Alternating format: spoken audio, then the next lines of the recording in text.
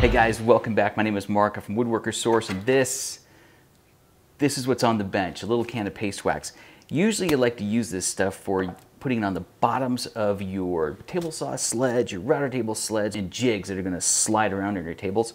If you've never experienced this before, you're gonna thank me for this tip later. You're gonna you apply a little bit of this to the bottoms of those sleds and they just glide, slide really nicely on your tools. You will you will appreciate it if you've never done that before. But the other thing I like to use paste wax for is for finishing off a finish, uh, especially like a, like a hard finish on something like a tabletop that like I've done over here. So the table is finished with a coat of walrus oil furniture finish just to warm up the color a little bit. And then it's got three coats of General Finishes Arm-R-Seal for the protective clear finish. And then the wax just makes it shine and feel nice. You being on the other side of the cold black eye that I'm looking at, you can't, you can't possibly appreciate it until you feel it. But I thought I would show you how this stuff goes on. It's pretty easy and maybe you'll learn something. Here's your required tools. Can opener, synthetic finishing pad, shop towels, and a positive attitude. Take the finishing pad, dab it in there a little bit. We don't need a lot. Don't need a lot. Put a little more than that. Not a lot, just a bit. And man, we just start working it. Start working it on. And I'm just gonna do one section at a time, just a couple square feet at once to give me an area that I can I can handle. Immediately after that, you can see a really nice shine happening right here, but we still gotta buff that off a little bit and it'll really come to life. Just wanna make sure that it's dried already and it dries super fast. I'll just kind of buff it until it looks nice. So a little bit of paste wax is really only gonna give marginal protection to the project, but what it really does is give it a nice feel and a really nice shine.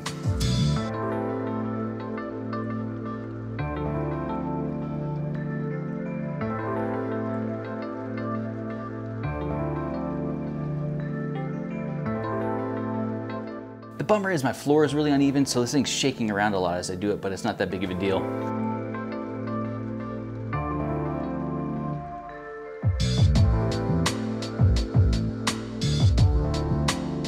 Some of you might ask me if I waxed the entire thing, and in fact I did. I didn't wax like, for example, the inside of the drawers. I didn't wax actually the bottom.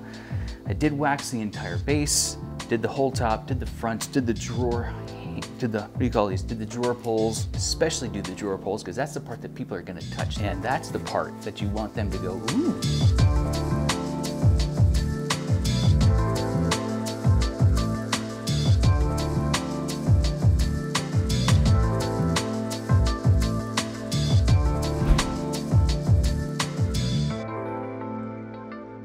So a couple rules about paste wax. You may have to do that twice to get a nice even sheen. Plus, you're gonna go through several of these. I think I went through half a dozen of them. You gotta keep folding it and turning it to keep a side, keep a, keep a surface that's not loaded up with wax as you buff this off.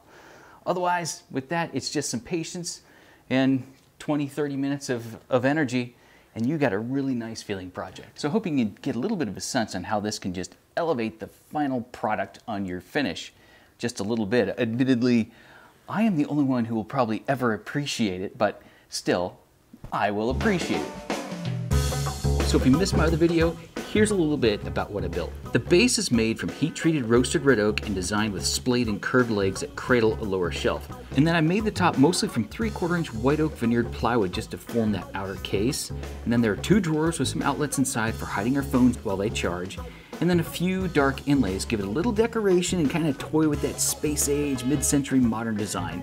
Some hardware store drawer pulls just wouldn't do the trick for this thing, so I sculpted my own from some white oak. Anyway, fun table to design, to build. Hope you like it.